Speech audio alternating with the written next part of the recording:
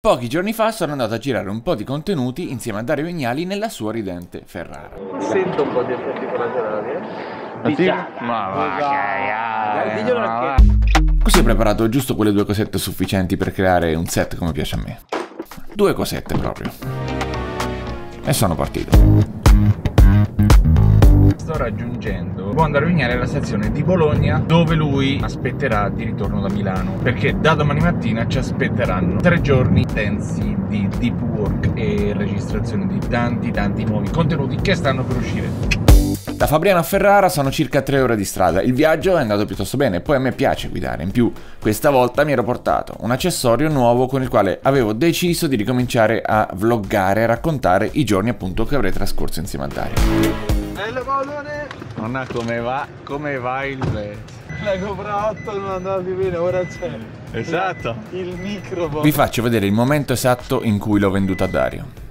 Tac. Eh. Come è andato? Ma minchia Paolo Macchia a Barcellona avessi stato il sole. Ma va.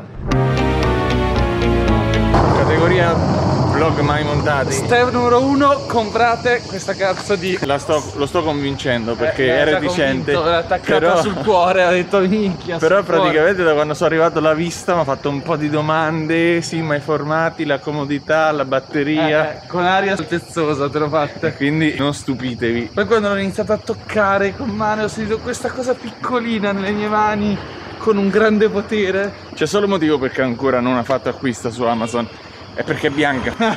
perché se era nera... eh, ciao. Ciao, ciao. are. E sulle note dei venditti che ci lasciamo alle spalle, No, possiamo mangiare, non era la scorsa. Andiamo a dormire perché domani mattina cominciamo a palla di fuoco. Appena rientrati a casa ho deciso di cominciare a fare già un po' di spazio per il giorno dopo. La giornata comincia presto, facciamo un bel caffettino e cominciamo subito a montare. E Dario è lì che mi aspetta, mi dà una mano, intanto studia. Io ho i miei tempi per allestire il set perché voglio che sia perfetto, preciso e funzionale. E così, dopo un po' di sistemazione, accendo le luci colorate, un altro caffettino e si comincia con il primo chuck. E direi che per questo video è tutto e ci vediamo nella prossima lezione. Ciao.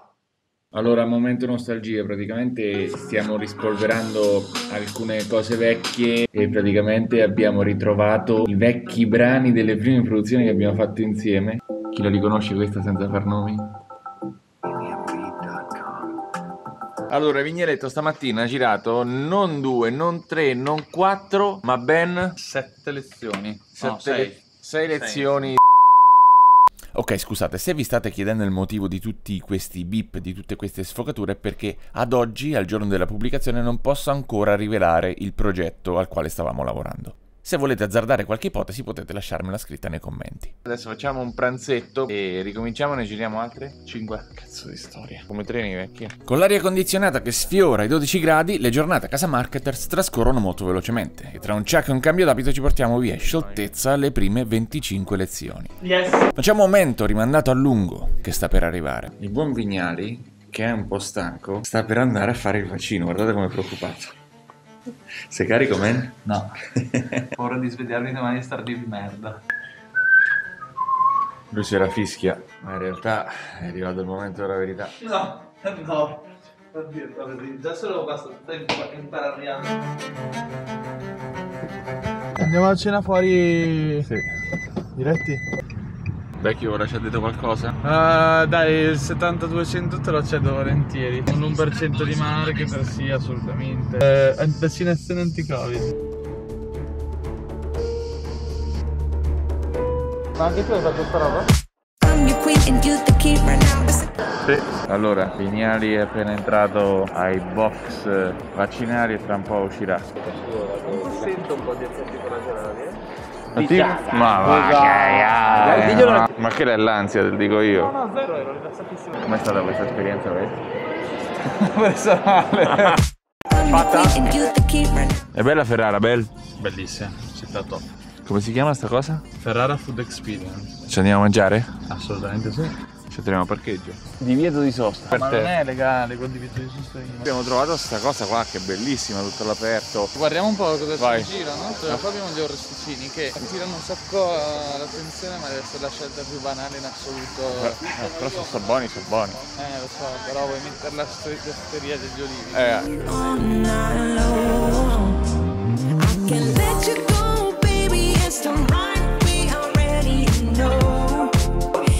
Scusa, ho toccato il microfono. Stiamo riguardando i primi risultati. Allora, oggi abbiamo girato altre 5 o 5 o 6?